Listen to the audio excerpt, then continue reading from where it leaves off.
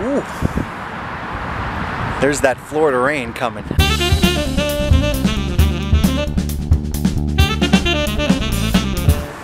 So I really enjoy doing shows outside of the norm to be able to do things that are fresh, you know, and it's exciting and it's new.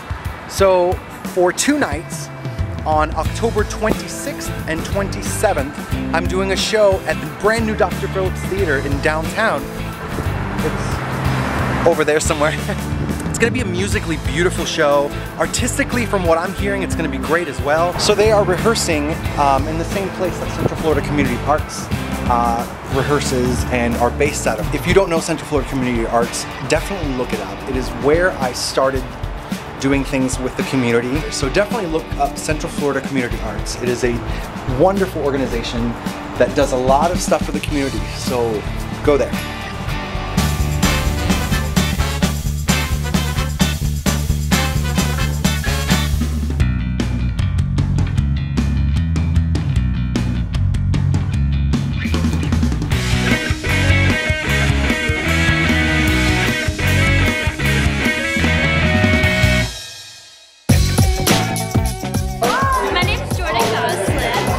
John Rivera. Hi. Joseph Cortez. Have you done shows before? No, this is actually I'm straight out of high school, so this is my first show. it's, it's pretty exciting.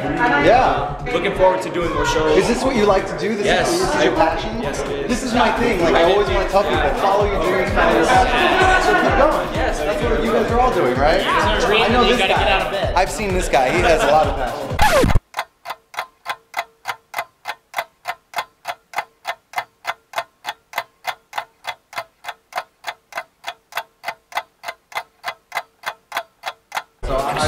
Remember, YouTube, go check it. out. but I don't have a microphone.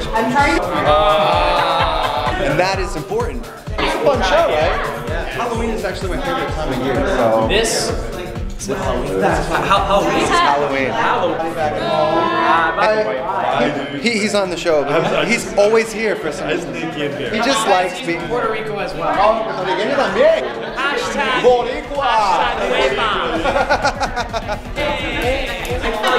Boricua. Alright. Bye. Yeah, we're, we're not showing. Next week, uh, my face will be unveiled. She's back there. But I have makeup on there. and my hair is not Yeah. hot Uh, uh, oh, go around. Uh, uh, uh. Bye, guys.